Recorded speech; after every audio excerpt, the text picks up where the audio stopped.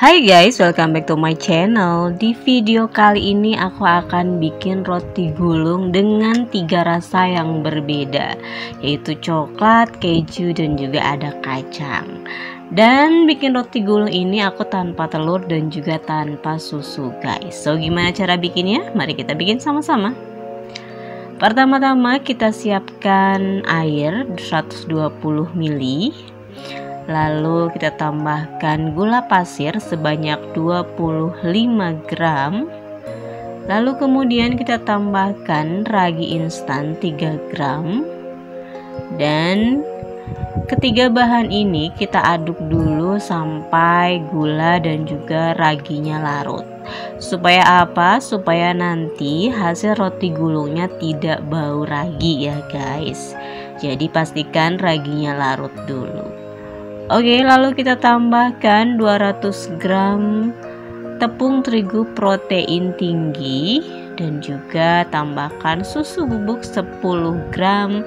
Dan jangan lupa tambahkan 1 gram bread improver. Ini harus ya guys karena kita tidak menggunakan susu full cream ataupun telur. Jadi harus menggunakan bread improver. Nah kemudian ini kita aduk sampai menjadi adonan yang tercampur rata aja. Jadi kita aduk aja atau kita uleni sampai adonan rotinya ini menjadi adonan yang tercampur rata atau menggumpal gitu guys. Nah jadi hasilnya seperti ini Gak usah sampai kalis banget, cukup sampai tercampur rata aja karena kita belum tambahkan margarin atau butter. Oke, setelah tercampur rata baru deh kita tambahkan 20 gram butter dan ini kemudian kita uleni sampai dia halus, smooth, kalis dan elastis. Jadi cukup uh, memakan waktu nguleninnya kalau pakai tangan. Jadi kalau kalian punya mixer silahkan memakai mixer.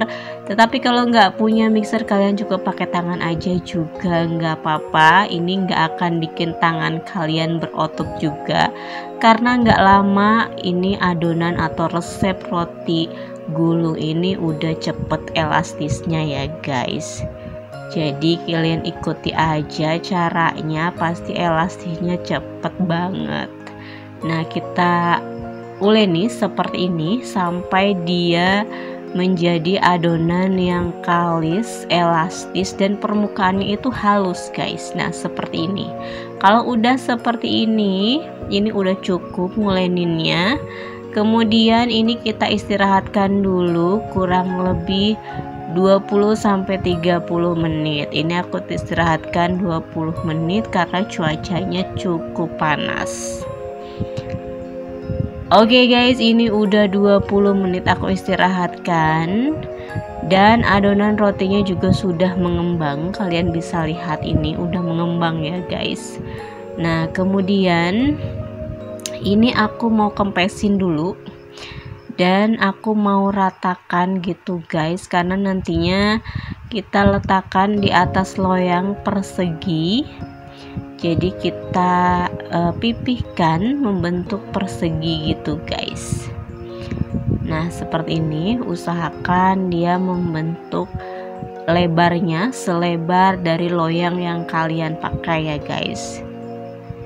Jadi tipisin dulu biar nanti uh, tingginya itu sama gitu saat di baking. Nah kemudian ini letakkan di atas loyang yang udah aku olesi dengan mentega di atasnya. Jadi biar nanti hasil rotinya setelah dipanggang tidak lengket. Jadi kita ratakan aja seperti ini guys.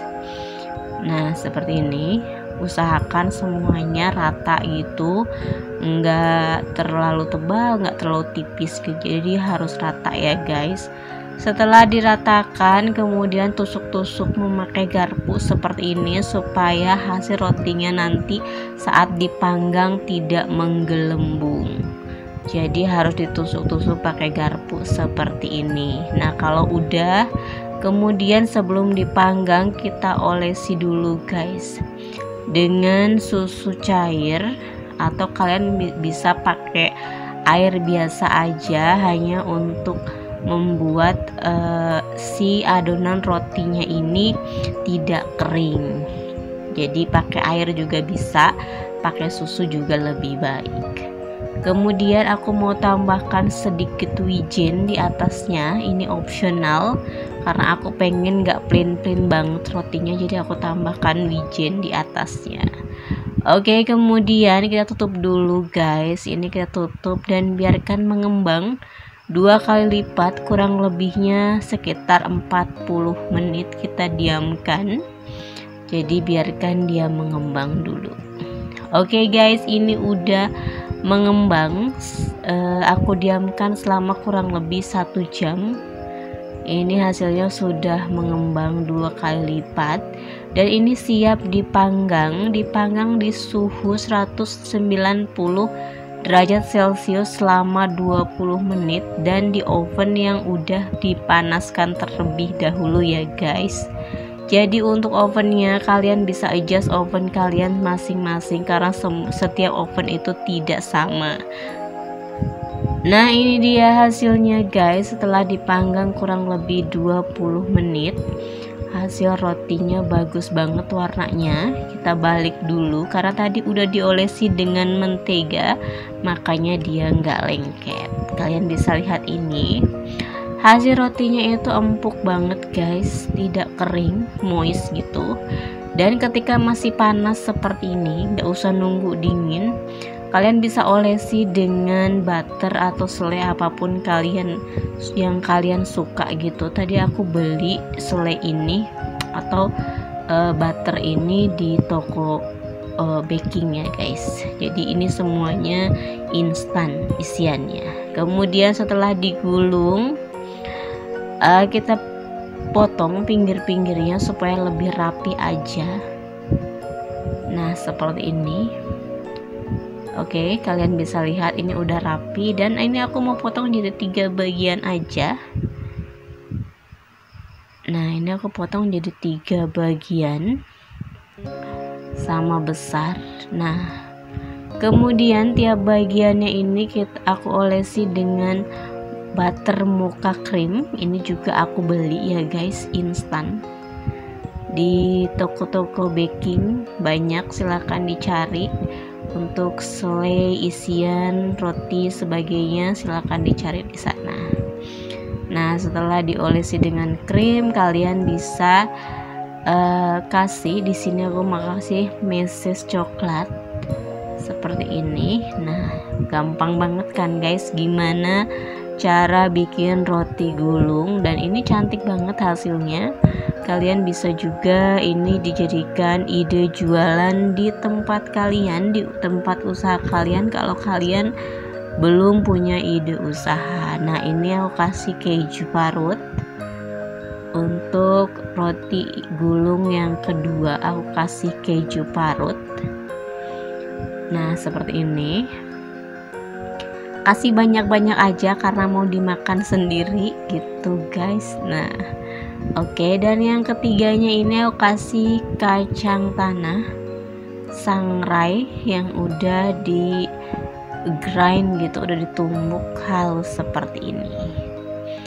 Nah semuanya udah siap guys. Tinggal dicicipin Tinggal disajikan.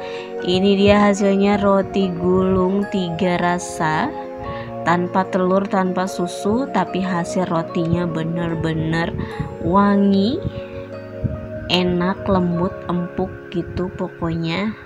Kalian harus coba di rumah. Dan kalau kalian berhasil silahkan komen di bawah video ini. Terima kasih sudah menonton video saya. See you my next video. Bye bye